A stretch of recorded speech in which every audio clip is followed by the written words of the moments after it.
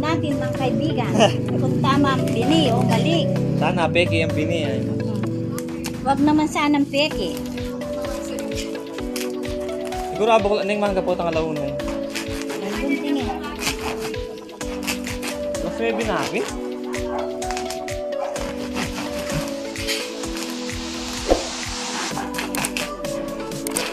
Sana. Kasi sira ng tatak mo. Hindi, libreng t-shirt yan.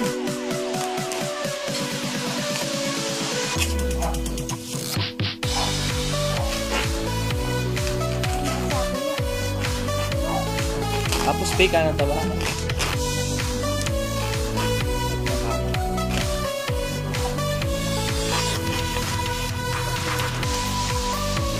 Oh, lakas yun. Nadali, manadali may tabo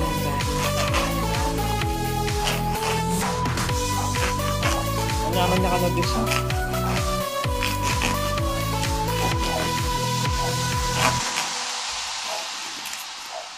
Okay.